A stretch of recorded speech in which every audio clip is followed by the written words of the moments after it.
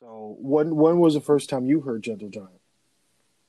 Mm, had to be the first album, that album cover.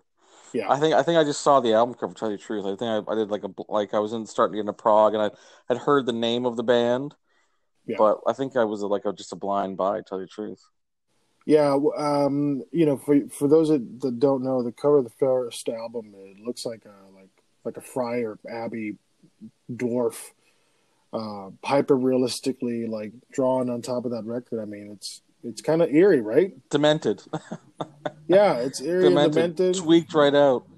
It, it's, what do you think about the? Uh, talk to me a little bit about the guitar work in Gentle Giant.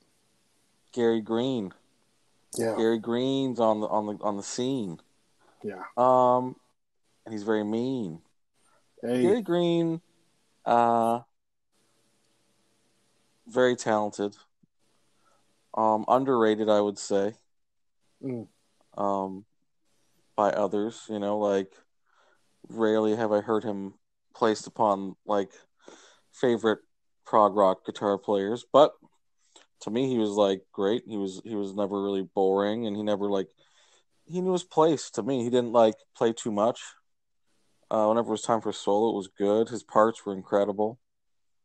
Uh, live, he's real impressive because again, it's like one thing to play these parts, folks, in the studio, but live prog rock is the real deal. So and the live album that you're referencing is the Playing the Fool, the official live.